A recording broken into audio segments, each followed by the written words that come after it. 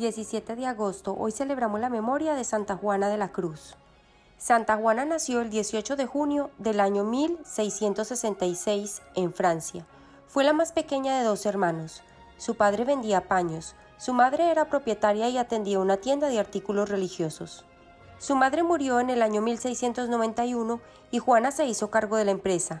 Inteligente y con gran capacidad de trabajo, hizo de la pequeña empresa todo un suceso.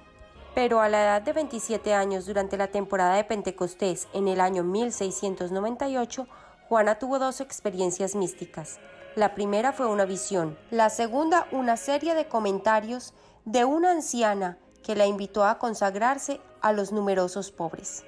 Estos eventos cambiaron la forma de mirar la vida de Juana, cerrando los ojos hacia el mundo burgués y seguro, tornándolos hacia un nivel más espiritual cerró su tienda y se alejó de la comodidad y del éxito mundano, y empezó a servir a los pobres, enfermos y desamparados, usando fondos recaudados gracias al apoyo de generosos benefactores que había conocido en el mundo del negocio, ella fundó y equipó tres orfanatos. Su energía y entrega atrajeron seguidoras y en el año 1704 con un pequeño grupo fundó el Instituto de Hermanas de Santa Ana de la Divina Providencia.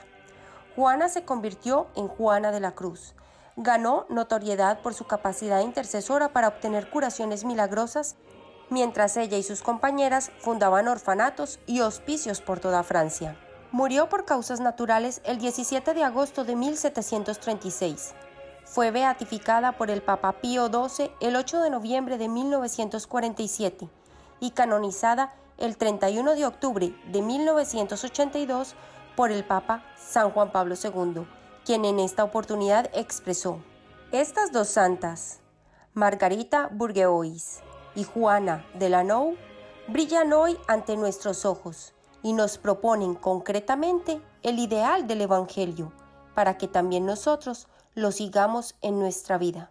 Santa Juana de la Cruz intercede por nosotros.